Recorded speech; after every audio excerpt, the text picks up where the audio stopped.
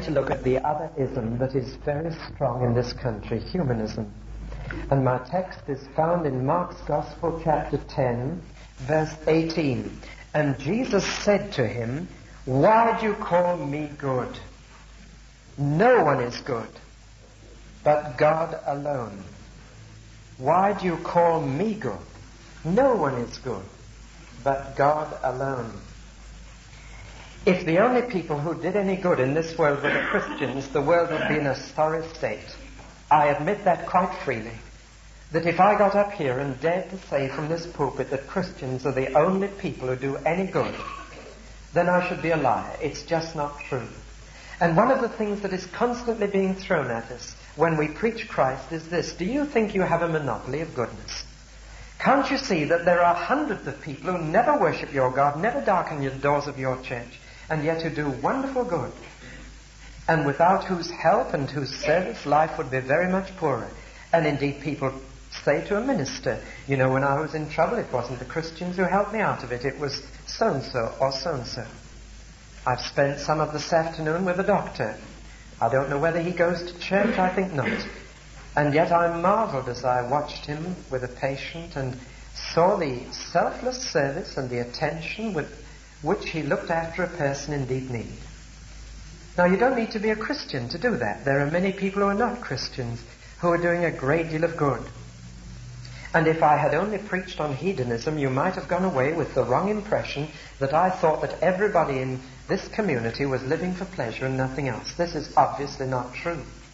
Indeed, there are very few people I meet who are wholly given to that. All of us have a hedonistic streak in us. All of us have a streak in us that wants to enjoy oneself. But I would be the last to say that everybody or even the majority are living by that faith alone. Most of us are mixtures of hedonism and humanism. Most of us have a better side as well as a worse side. Most of us find ourselves doing wrong things and right things. Indeed, Paul talks about those who by nature do the right thing. And this is certainly true. Now, I want to look further at this other ism, which does make the world a very much better place than it might be. Scouts have been mentioned. Behind the scout movement lies a very great deal of humanistic belief and practice. Let me distinguish it from two things to make it quite clear that you understand what I am meaning by that word. People debate what it does mean, but I'll tell you what I mean by it. First of all, let me contrast it with last Sunday night. If a hedonist is someone who lives for himself, a humanist may be defined as someone who lives for others. If a hedonist in the simplest terms is a person who says, I am going to get as much out of life as possible, then a humanist, in simplest terms, will say, I am going to try and put as much into life as possible. And you will see that we are a strange mixture of the two. Mr. Watts mentioned that in his testimony, though again I didn't know what he was going to say. With the enjoy oneself side and make oneself comfortable side, also went the do-gooding side. The scouts, many other things. Now, there are many people who show this strange mixture in different proportions.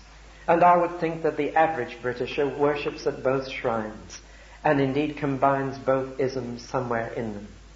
So that we may say the hedonist is very much more selfish than the humanist. And there are many humanists who are devoted to trying to solve and relieve some of the problems of our human race, who would never admit to being called Christian, who would certainly never bother to worship God, but who are making this world a much sweeter place than other, otherwise it would be.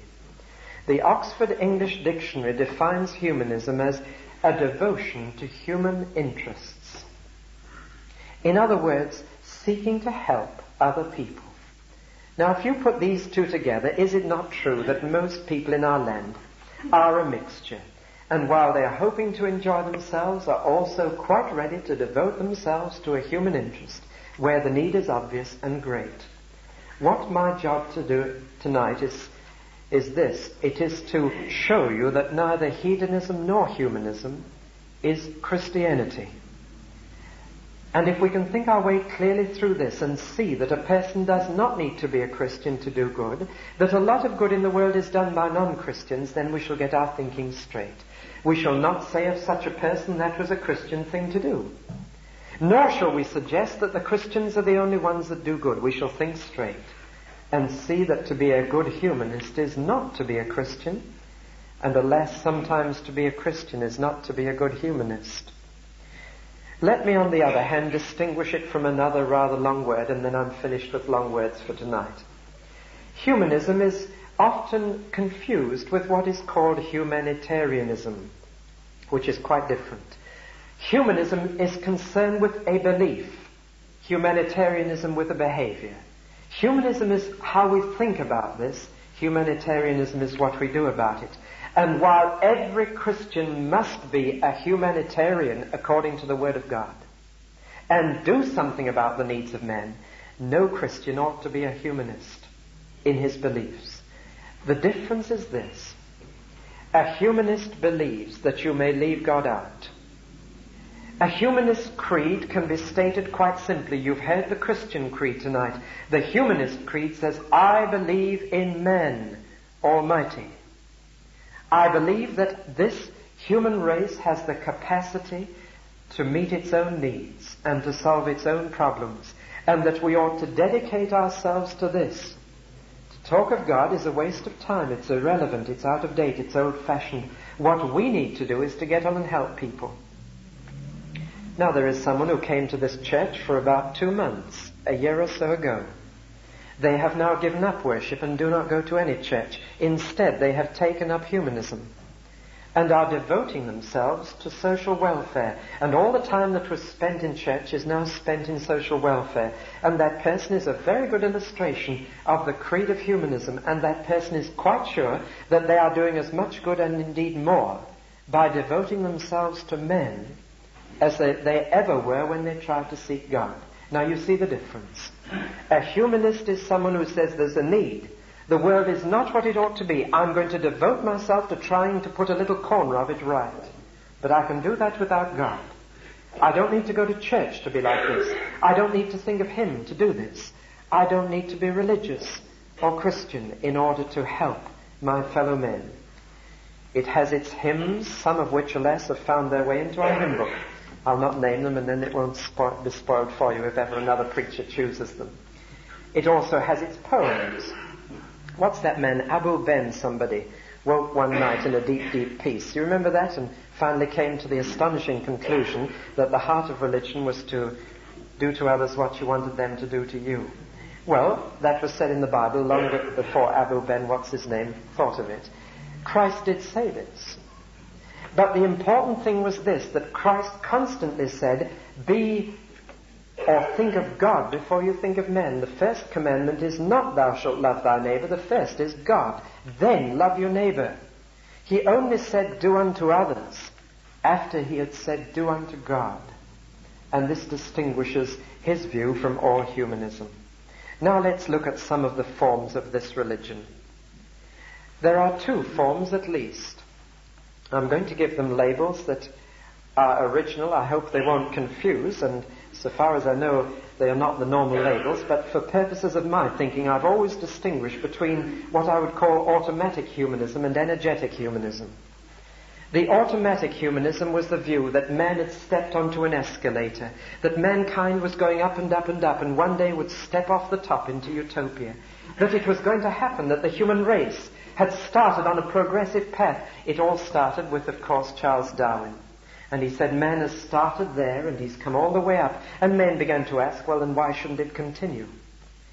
Why shouldn't man still go on, progressing, evolving, becoming more and more wonderful? And indeed, the belief captured the minds of many men that automatically man would solve his own problems. And so religion could be left behind as one of those primitive superstitions that the early race needed, but without which we could safely progress now. The automatic version was held by many politicians in this country. An English Prime Minister of not so long ago held it firmly. He said up and up and up and on and on and on. Grand eloquence. But we now know that it is not true. There are very few humanists who believe that automatically it's going to be all right that we are getting better and better, as one great humanist has put it, better and better in every way, every day. this is just not true. Two world wars have blasted this idea. We've realized what man is capable of, and again, we remember that next Sunday morning we shall remember those who have been slaughtered by man to try and find utopia. And he would be a bold man who would say that the world of 1963 is happier than the world of 1913, only 50 years ago. And that we are better and better every day in every way. The automatic humanism has gone. And in its place is an energetic humanism which says it's not going to happen automatically. We must bend our whole wills and energy to make it happen. We believe that man can land us there. We believe that utopia is waiting for us, that we can establish a kingdom of brotherhood and peace, but it'll take an awful lot of energy. It'll take an awful lot of effort, and we must do this. Now, in the energetic outlook of humanism, there are four particular things that seem to be the answer. First of all, there are those who seek in politics the humanistic energy and effort that is going to solve our problems. Now, with the deepest respect for such, I admire those who go into what is a dirty business in many senses, but no more dirty than many another calling, and go into it and slave long hours and are often caught between the party and the constituency and who labor long and earnestly and give of their time and energy because they believe that in this way mankind's problem will be solved. That if they can just hit upon the right program or the right policy and then establish it, that we shall wake up one morning and find ourselves free from the tensions and the difficulties of life. That's one way. Then there is the modern fairy godmother science. And there are many who feel that because science has done so much, it can do it all. I have met them. I used to discuss many hours in Cambridge with those scientists who felt we can do so much, we can do everything, and who said, I believe in science almighty. And this was their creed, and it was amazing to find how devoted a man can be to this creed. Now let me not belittle science. How could I? Let me take just two examples of what it has done for us in the sphere of medicine and in the sphere of communication.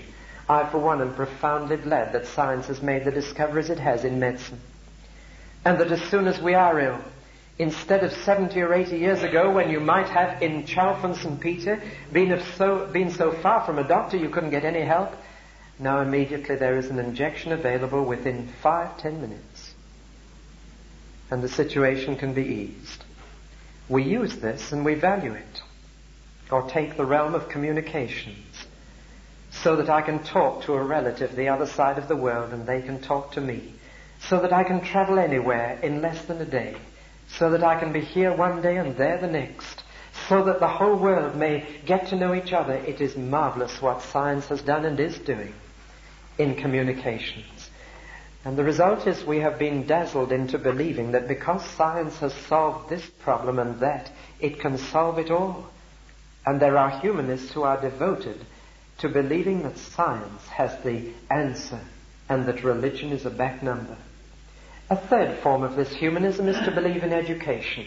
I was in a court not so long ago. I was there as a friend of the prisoner and to speak for him, or not the prisoner, but the, the man who was in court and charged with a crime. And I was talking to the lawyer afterwards, the lawyer for the defense. And as we talked together, I said, You must get very disillusioned with human nature because it was not a very nice crime and it was a day on which they had a series of not very nice crimes, and I said, You must get very disillusioned. He said, I do. I think there's not much hope for, for this generation. Well, I said, What's your answer? What do you think is going to be the solution to it all?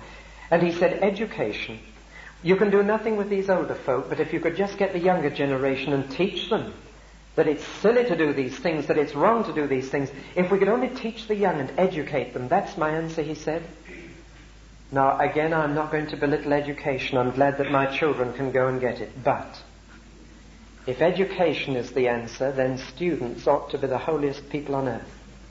Having lived among them for six years, I know that this is just not true. You can educate, and depending on what sort of material you have, you either create a clever saint or a clever devil. Education can be used both ways. It's a double-edged sword. And while it can do a great deal to remove ignorance, it cannot solve the problem. The final answer that has become much more popular in the last ten years is the answer not of politics or science or education, but quite simply welfare. The teaching that we are here to meet the needs. If we can't solve the problems, at least we can reduce the effects of them. And the growth of such movements as voluntary service overseas, which has been featured in a national paper the last week or two, which is not a Christian organization but a humanitarian one, Freedom from Hunger, World Refugee Year. This is the new direction. And it could blind us again into thinking that we can solve our problems by setting up such funds and organizations. Again, far be it from me as a Christian preacher to decry these things. They are good and right. But I say in the name of God they are quite inadequate and can never solve the problem. Indeed, there is an awful danger in this spate of humanistic thinking that Christians will be dragged the same way and distracted from the real gospel we have to preach. You see, the world can see no point in what we do except insofar as we do it in politics, in science, in education, or in welfare. And therefore we are tempted, in order to be thought highly of by the world outside, to throw our lot into these things. And the church becomes a political agent or an educational one, or simply a welfare organization. Now, if we have no more to do for the world than offer them these four things as Christians, well, then we have no real answer. And indeed, those who feel that those four things can provide the answer need to think again. I want now to turn, and you must have wondered where I was going tonight, I want to turn to three things that the Bible says about men which color a Christian's thinking and control his whole attitude to these things. And after I've given you these three things which are to be found in the Bible about our human race, I am then going to go back to the humanism and say, now what does the Christian see there? And seek to get a Christian attitude to the do-gooders. And there are many of them, and thank God there are. First of all, then, what does the Bible say? It's a vital thing to ask what God thinks about the human race, not what we do. There are three things. Here they are. The Bible teaches the dignity of men, the destiny of men, and the depravity of men. And you can never come to a right attitude to doing good unless you believe firmly and clearly those three things. First of all, the dignity of men. That's why I read Psalm 8. What is man? Here's the answer of a prominent scientist. He is an accidental coincidence on a minor speck of stellar dust. That's you and me. That's the scientific view. In these whirling worlds in space, way on one little tiny speck of interstellar dust, some atoms have somehow come together and there's a man. But the Bible view of man is this. What is man that thou art mindful of him? Thou hast made him a little lower than God far above all the animals. Man is not to be measured by his size. He is measured by something else. A baby is more important than Mount Everest from the Bible's point of view. In size, there's no comparison. But in value and dignity, there is every comparison. The human being is of infinite worth and value. This is the dignity placed upon the human race by God in the Word of God. We are also given authority in the Word of God as men to subdue and use everything that God has made for our purposes. I have little patience, it may be what little science I've dabbled in, but I have little patience with those obscurantist Christians who think that every new invention is anti-God. As if every new discovery is, is against God's will, as if man discovering how to burst the atom is not what God intended, as if man's explorations into space are, are not what God intended. I am quite sure they are. For when God made man, he said, Now there, I've made everything else for you to use, for you to conquer and subdue and use it. And therefore man has the dignity of being in a position to conquer and control everything that God has made. That's why I can believe in science as a Christian. I think God intended this, but the one thing that science can't do is to tell us how to control ourselves. It was God's will that we should control everything else. but not his will that we should control ourselves, and we have never shown a capacity to do this, nor will we ever do so.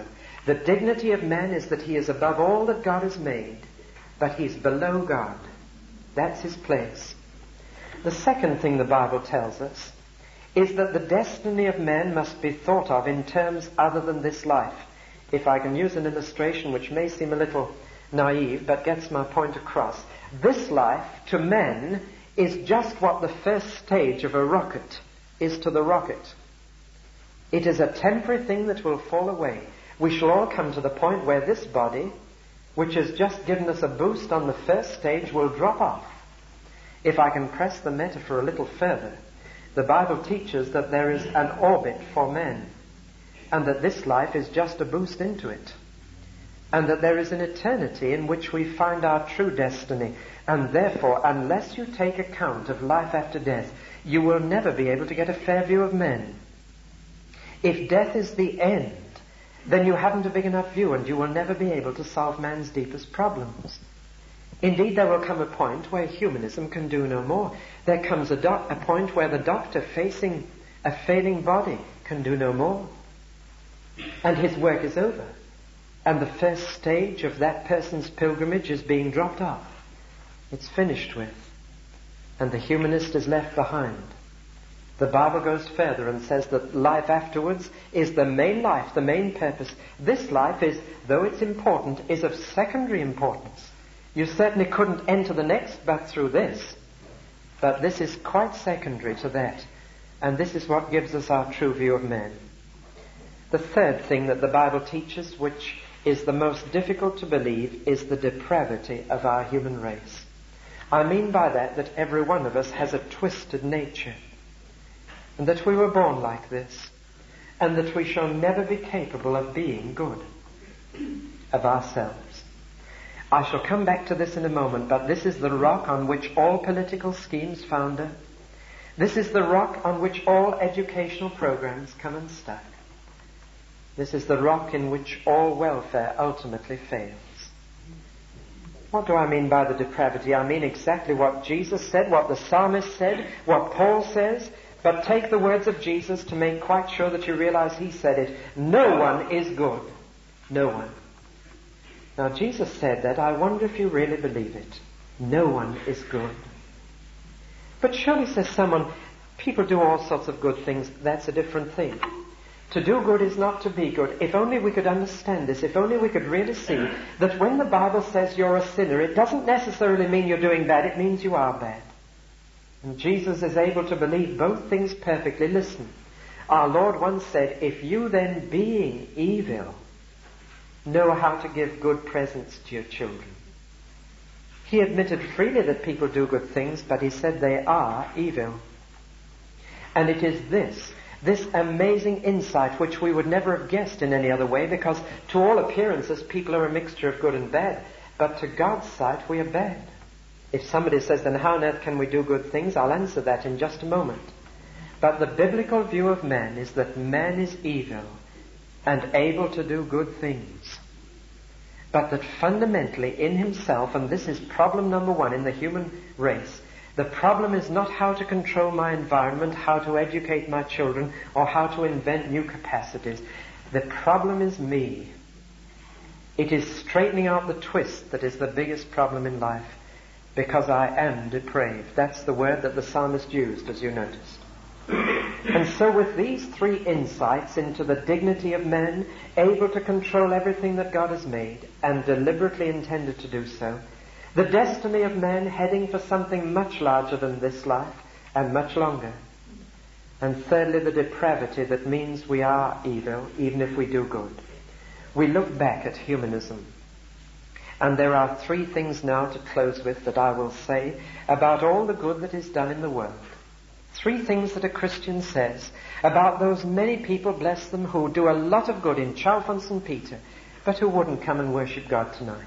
The doctors, the nurses, the welfare workers, the Red Cross, the St. John's Ambulance, we could go through them all. These people who are dedicating themselves, perhaps even as I speak, to helping mankind in its need. What do we say about this? Well, we say, first of all, it is indispensable. That we couldn't do without it. That the world would be a dreadful place if they didn't do it. As I began, if it were left to the Christians, we should not have the world that we have now. Let us say this quite freely. We rejoice in it. Where possible, we share in it. And Christians are not out of these things, they're in them. And though it's almost as hard, we'll say now, to be a Christian doctor as a Christian politician, there are Christians in both, seeking to do the will of God there. We rejoice in that and we share in it. Good is achieved, and the world is a better place to live in because of these people. Secondly, not only is all that good work indispensable, it is inspired. Who are we going to credit with this?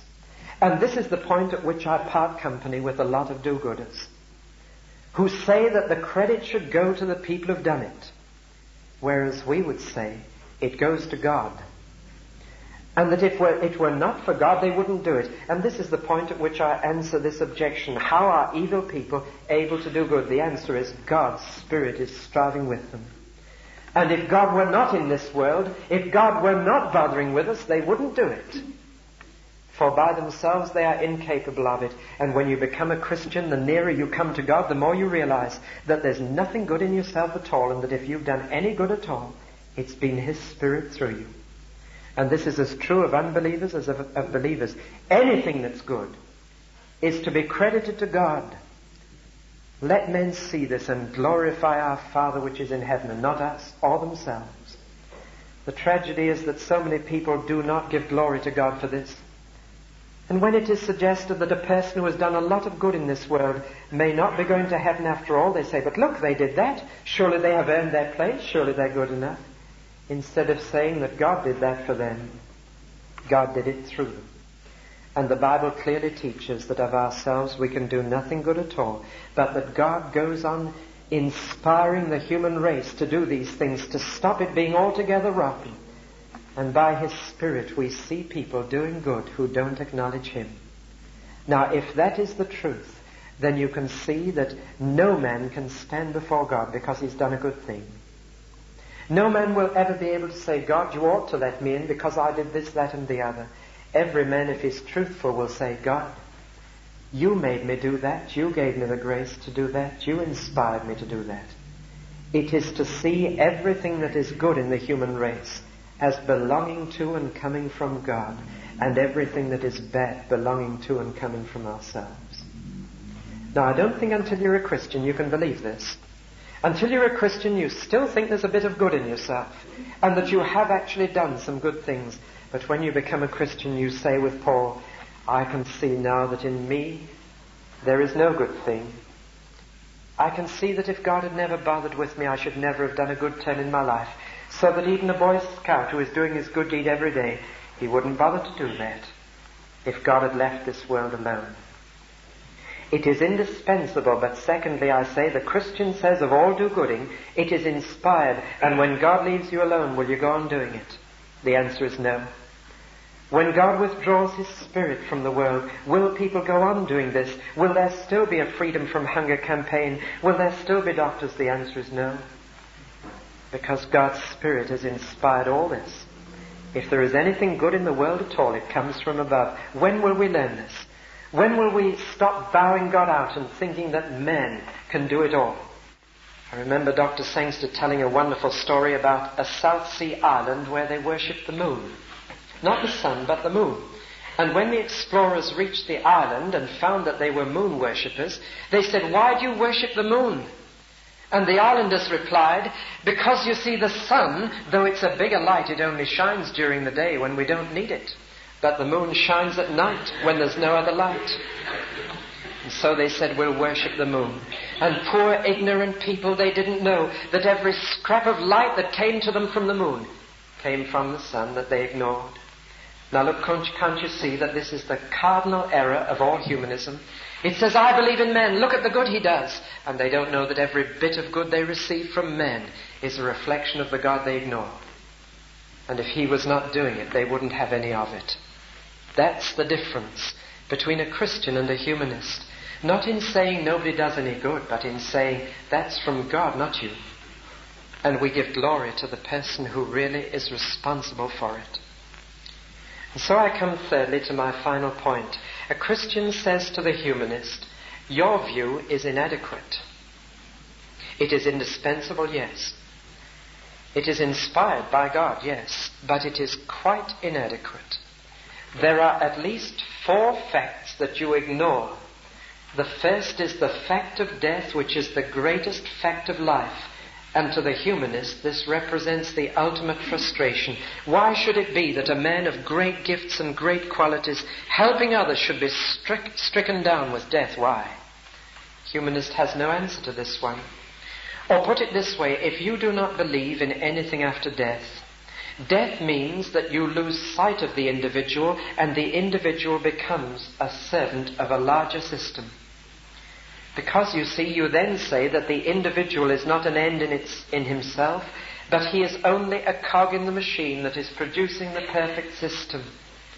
The individual comes and goes. It is the system that lasts. Death is the great fact which the humanist cannot come to terms with. The second fact is the fact I've been mentioning all along, the fact of sin. The humanist cannot see this. The humanist must always identify the evil in the world with someone else and say, well, it's due to the capitalist. We must get rid of all capitalists, then the evil will have gone. A Scotsman will say it's due to the people in Westminster, and if only we can get rid of them and get home rule, then we shall solve our problems. And the man with the dark skin says if only we could get the man with the white skin off our backs, that would solve our problems. He's the evil. Whereas the Christian, knowing the depravity of the human nature that is in him, says, I'm the problem with the world, and until this is put right, I can hardly begin to put anything else right. He begins with a fact of sin in himself. He doesn't try to say that man's causing the evil or that woman's the cause of it all. He says, I am. I've got the trouble within my heart and soul. Let's look at some of those other things. Politics. Is it not true that every time politics founders on this rock that human nature can't sustain the ideal system? Without getting over political, can I just point out there were two systems that we've tried in this country recently, broadly speaking. We tried to tackle the problem of production with the system of capitalism and laissez-faire. And we certainly produced the goods. The trouble was that human nature wouldn't share them when they came. And the few became rich and the many became poor. So we tackled the problem from the other end, the problem of distribution, and said we're going to have a welfare state and share it all out. And Archbishop Temple begged the, those who pioneered the welfare state in this country to remember that man was a sinner. And said, Do you think human nature is above abusing this? The idea was all right that man, if he controlled his own industry, would work harder than ever, that if you only nationalized the industries, you'd have a tremendous increase in energy and devoted service. It assumed that if you made medicine free to all those who needed it, that no one would ask for more than they needed. It assumed too much. Much of it founded and is still foundering on the rock of human nature. So we've now gone back to the other, and the gap between the rich and the poor is widening rapidly since 1959. And so we're seeing again that human nature is not above abusing any system it's under. That's where all political systems were founded. Science found us on the same rock because science can say, and I've been in the laboratory where Rutherford worked to split the atom and discover the untold power. Do you know why he did it? He did it so that man should be free and man should be wealthy and man should enjoy unlimited power so that he should be freer to give himself to higher things. That's why he did it. And the first thing that atomic energy was ever used for was Hiroshima and Nagasaki. It's human nature again, sin. And education, I've already suggested. You can educate a man, you can make him more and more clever, you can give him more and more knowledge, but how's he going to use it? And even welfare, you may meet all his needs. But when you've finished meeting all those needs, is he a better man? You're still going to be up against the fact that in very few cases will he even say thank you. And those of you who were there when we read David Grenfell's letter will remember that remark in it. And the few, very few, say thank you, feeding 10,000 people a week. The fact of sin. Thirdly, humanists ignore the fact of God. God who made us, and we say, God, we don't need you, goodbye. We can manage on our own. We can have our women's voluntary service and we can have our Red Cross. We can have our voluntary service overseas. We can have our Peace Corps. We can do it all without you, thank you. We can help each other until we all meet each other's needs. Mind you, if that's possible, it seems to land us all back in hedonism again. For when all the needs are met, what do we do then but enjoy ourselves? No, the whole thing breaks down. God intended us for something much bigger than that. Much, much bigger. Without God, we shall never understand why we're here. Without God, we shall never be able to get there. God's power and purpose cannot be denied. If we do it, we ignore Him at our peril. But my last word must be this.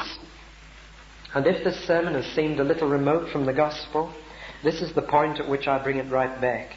The biggest fact that the humanist ignores as he seeks to do good to his fellow men without reference to God is the fact of the cross. Because it is there that humanism is shown up in all its utter weakness. If you look again at those three languages above the cross Greek, Latin, and Hebrew Greek, the greatest culture that the human race has ever managed to achieve. Latin, the greatest system of administration and justice on which our law is still based to a large degree. And Hebrew, the highest religion the world had seen to that moment. And it was those things that were there on the cross. And it is at the cross that the human race, in all its sin and in all its rebellion against its Maker, is stripped bare and we are seen as we really are. And we see that politics and culture and science and education and schemes for welfare have done nothing to alter the beastliness that is in us. I want to say that man's biggest need tonight is guilt and how to deal with it. That's the biggest need. It is coming out in play after play, in novel after novel. The world is desperately trying to find the answer to the sense of guilt we have. We look at a film of Hiroshima and we feel guilty that our race ever did it. We don't know how to deal with that sense of guilt. Indeed, I could prove this to you by the number of ways in which men are trying to find their way out of their guilt. Existentialism, blessed word, do you know it? It's a way out of guilt. And it's a way out of guilt by suggesting that really there are no moral standards, that we just live, that we are victims of our circumstances, that we must just exist from day to day within the situation we are in and not ask what is morally right or morally wrong. How significant it is that this started in France and came to fruition in France after the war when the German occupation had demoralized a whole nation and when sabotage and killing was right and when no longer had they any absolute reference of right and wrong, and the writings of people like Jean Paul Sartre have spread this view man is not guilty. He is just a plaything of his own existence. There is no right or wrong in life, only weariness. This is the message which our young people have adopted. If you want to know the secret behind the beatniks, then you've got it in existentialism. It's a way out of guilt. Another way out is the psychological way and say a person isn't responsible their mother slapped them once too often when they were five years old. There is somehow a sickness here, not a guilt. And there are others who are desperately trying to assuage the guilt of our race by throwing themselves into this do gooding, by throwing themselves into duty. Let me tell you a simple child's story. There was a father went away for ten days and left his boy with his mother and said, Now look, lad, Here's a piece of wood and a block, a block of wood and a hammer and some nails, and every day you're a bad boy, I want your mother to knock a nail in that piece of wood. And every day you're a good boy, she can pull one out, and I'll see what there is when I get back. And for five days he got five nails in. And the sixth day he realized what was happening and was terribly good and got a nail out, and the seventh and the eighth, and by the tenth day he got them all out and wiped his brow with relief. But his father came home and said, Where's the block of wood? And there in the block of woods were five ugly black holes. We cannot atone for our guilt by doing good. There's nothing can get rid of those nail holes except the nail prints in the hands of our Lord Jesus Christ. It is at the cross that the greatest need of mankind is met, the need of our guilt. There is not one of us could stand in this pulpit tonight and say, I have not added to the problems of the world. There is not one of us could stand up and say, I'm free from the evil that is causing our race such suffering. There is not one of us who could say, I've never been selfish, I've never hurt another, I have never caused another grief. There's not one of us. And though we may have done good by the grace of God, that may have pulled a nail out, but it hasn't moved the nail home. And the guilt remains. That's where we say humanism fails most radically. Because if the humanist is, is right, the cross was a ghastly blunder and did nothing to meet the need of a human race. Whereas if God is right in His Word, this was the one thing that our race needed to put it right. It is at the cross that the humanist ends and the Christian begins. It is there that our race is condemned and stands guilty, lost, and helpless. And it's there that a new race begins, a new humanity, of people who've had their nature straightened, of people who've been made upright, of people who've been forgiven. And if someone says this is a slow way to put the world right, then I answer it is a sure way. For it is the only way. When will the humanist learn that you cannot put the world right until you've put men right? When will that gospel break through? Well, it won't unless we preach it. Let us pray.